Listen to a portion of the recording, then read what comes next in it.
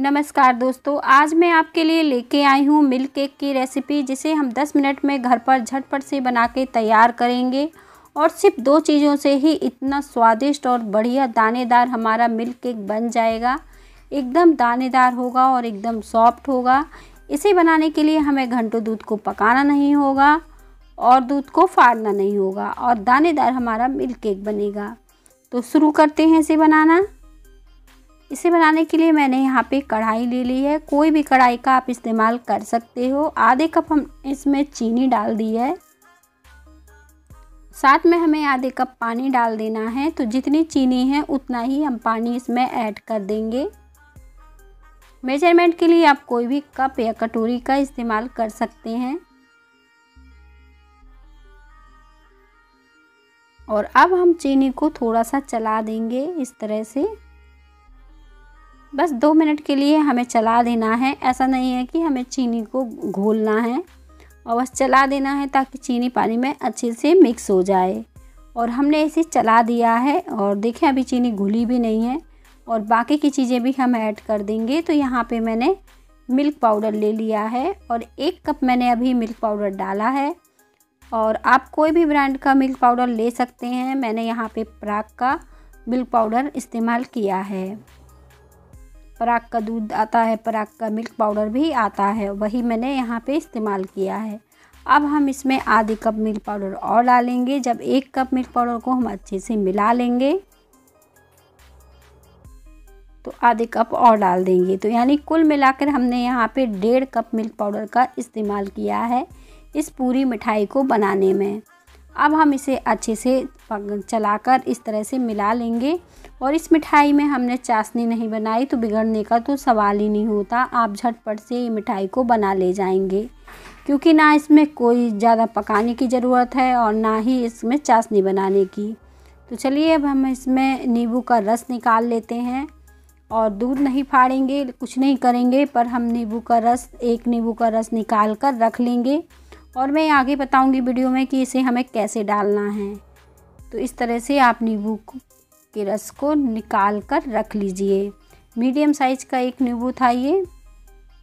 और चम्मच से, अगर छोटी चम्मच से हम ये नींबू का रस नापे तो दो चम्मच है।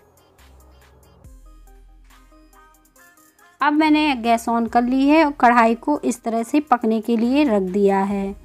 और इस तरह से चलाते रहेंगे तो चीनी जब थोड़ा सा घुल जाएगी तो ये पतला सा हो जाएगा और जो लम्स हैं वो भी अच्छे से घुल जाएँगे।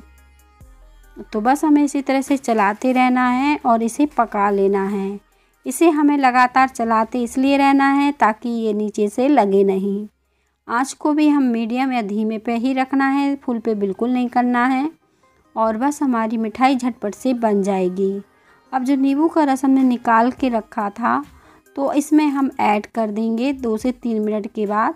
थोड़ा थोड़ा करके हम इसमें नींबू का रस डाल देंगे, एक से दो बार के करीब, इस तरीके से, और इसे चलाते रहेंगे।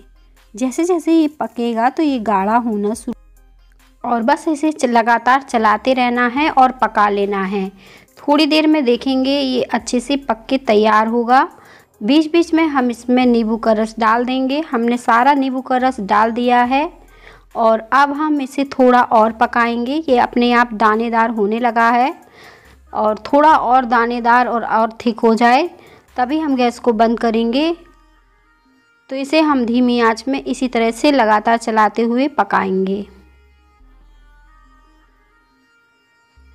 तीन से चार मिनट बाद ये अपने आप ही इस तरह से थिक हो जाएगा बहुत ही बढ़िया पका रहेगा एकदम दानेदार हो जाएगा। अब देखें कितना बढ़िया ये दानेदार सा हो गया है। हमने धीमी आँच में इसे इसी तरह से लगातार चलाते हुए पका लिया है। हल्का सा इसे हमें कलर चेंज करना है इसका। जो लाल सा हल, हल्का सा कलर आता है ना वो आना चाहिए इसमें। तो इसमें हम डाल देंगे आधी छोटी चम्मच घी। आप चाहें तो एक चम्मच घी का भी इस्तेमाल कर सकते हैं। आधी चम्मच घी डालने के बाद हम इसे अच्छे से मिक्स कर लेंगे। तो ये एकदम कढ़ाई को छोड़ देगा जैसे ही हम घी डालेंगे और इसमें हल्का सा लालपन आना शुरू हो जाएगा। घी पूरी तरह से ऑप्शनल है, आप चाहें तो इसे बिना घी के भी बना सकते हैं। और थोड़ा सा रिफाइंड डाल सकते हैं आधी छोटी चम्मच के करीब। और देखें, ये अच्छे से अब इसका कलर चेंज हो गया है। बहुत ज़्यादा अब हमें कलर चेंज नहीं करना है नहीं तो ये सूखा हो जाएगा। जैसे हम मिल्क केक को सेट करेंगे, ये मतलब सेट होने पर सूखा सा हो जाएगा। तो सूखा सा नहीं करना है हमें, इसी तरह से गीला सा रहने देना है। और बस अब हम गैस को बंद कर देंगे। बंद करने के बाद हम इसे चला देंगे, क्योंकि अभी हमारी कढ़ाई गर्म है।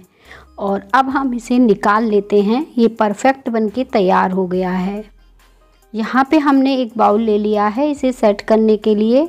कोई भी बर्तन का आप इस्तेमाल कर सकते हैं या फिर बच्चों के लंच बॉक्स में भी इसे सेट कर सकते हैं। और मैंने इस, इसी बाउल में इसको इस तरह से डाल दिया है। अब हमें चम्मच की सहायता से अच्छे से इसे दबा देना है। आप देखें, इसमें कितने बढ़िया अच्छे से दाने पड़े हैं और अच्छे से ये पका हुआ सौंदा सौंदा सा है। इस तरीके से अब हमने इसे अच्छे से सेट कर दिया है। चारों तरफ़ हमने इस तरह से चम्मच की सहायता से चिकना कर दिया है इसे। अब हम इसे 10 से 15 मिनट के लिए इसी तरह से छोड़ देंगे और इसके बाद हम इसे निकाल लेंगे। 10 से 15 मिनट बाद हम इसे निकाल के दिखाएँगे। मैंने चाकू की सहायता से इसके चारों तरफ़ इस तरह से कर लिया है और इस तरह से अब हमने इसे निकाल दिया है। निकालने में कोई परेशानी नहीं होगी। अगर हो तो आप जिस बर्तन में भी इसे सेट करें, वो हल्का सा गर्म कर लें। ईज़िली ये निकल आता है, कोई दिक्कत नहीं होती है। और जैसे चाहें पीसेस अब इसके आप कट कर सकते हैं, जैसे पीस आपको मिल्क केक के पसंद हो। और मैंने इसे कट कर लिया है। आप देख रहे होंगे काटने पे कितना ज़्यादा ये दानेदार बढ़िया सा बन के तैयार हुआ है। बहुत ही टेस्टी और बढ़िया बना है, एकदम दानेदार। आज की रेसिपी उम्मीद है कि आपको ज़रूर पसंद आएगी। मैं इसे तोड़ के दिखा रही हूँ, कितना सॉफ्ट और दानेदार ये बन के तैयार हुआ है। मिलते हैं इसी तरह की और नई रेसिपी के साथ।